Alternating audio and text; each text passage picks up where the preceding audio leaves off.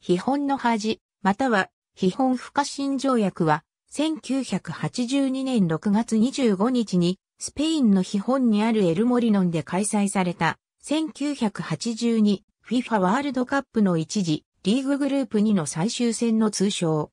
西ドイツとオーストリアの両チームが次のステージに進出できるように、両チームによる談合試合が行われ非難を浴びた。この試合は、グループ2の一時、グループリーグ最終戦であり、西ドイツが1点もしくは2点差で、オーストリアに勝利すれば、オーストリアと西ドイツがアルジェリアを抜いて、次のラウンドに進出することができるという状況であった。前日にアルジェリアとチリの試合が行われ、両チームの試合はすべて終了していた。アルジェリアは第一戦で西ドイツに2の1という大金制を収め、ワールドカップ予選でヨーロッパのチームに勝った初のアフリカのチームとなった。その後、アルジェリアはオーストリアに0の2で負けた後、チリとの最終戦で3の2の勝利を収め、一時、グループリーグ最終戦を残した時点で、グループ2の2位につけた。上位2チームが2次リーグに進出できるため、アルジェリアの運命は最終戦の1位オーストリアと3位西ドイツの試合結果に委ねられることとなった。西ドイツがオーストリアと共に次のラウンドに進出するためには最終戦で1点もしくは2点差で勝つことが必要であった。仮に西ドイツが4点差以上の勝利を収めた場合、西ドイツとアルジェリアが次のラウンドに進出してオーストリアが敗退するという状況になった。チーム 1V、チームに前半10分、西ドイツがホルストルベッシュのゴールで先制すると、以降はお互いのチームがボールを交互に回し合う、ゴールキーパーにボールを戻し続ける、相手陣営にロングボールを飛ばす、という意味のない行為を繰り返した。残り80分間、両チームともほぼゴールを奪おうとはしなかった。この試合はすべての視聴者と観客から批判を受けた。ドイツ公共放送連盟のある解説は、解説を行うことを拒否し、オーストリアのある解説は、試合に嘆き、テレビの視聴者に対して電源を切るよう進める始末だった。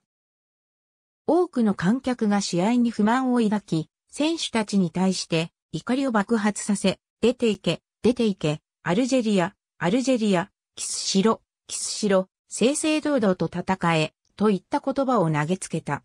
怒ったアルジェリアのファンは選手たちに紙幣を振り抗議した。この試合は 1978FIFA ワールドカップでオーストリアが西ドイツに勝った試合のような熱戦を期待した西ドイツやオーストリアのファンからも非難を受けることとなった。自国の国旗を燃やして抗議の意を表す西ドイツファンが現れる始末だった。西ドイツはこの試合で1から0で勝利し、勝ち点2を得たことにより、オーストリアやアルジェリアと勝ち点4で並んだ。得失点差により、西ドイツとオーストリアが、それぞれ1位、2位となって思惑通りに次リーグへ進出し、3位に転落したアルジェリアは敗退した。この試合で、オーストリアはグループ1位通過で2次リーグへ進出するチャンスを自ら放棄した。西ドイツはとにかく勝たなければ敗退する状況だったためオーストリアは負けるしかなく、また当時は西ドイツがオーストリアよりもサッカー代表チームとしては格上だったからである。アルジェリアのサッカー関係者たちはこの試合に起こり、FIFA に対して正式に抗議したものの、FIFA は試合結果に及ぼす規定には違反していないとして制裁を加えたり、調査するといったことを拒否し、そのまま試合結果は確定した。両チームも談合試合であったとの疑いを否定した。その後、西ドイツは決勝に進出したがイタリアに1の3で敗れた。またオーストリアは2次リーグで大会4位となったフランスに敗れた。この試合の影響を受けて UEFA 欧州選手権1984と1986 FIFA ワールドカップからは国際大会のグループリーグの最終戦は同時に開催されるようになった。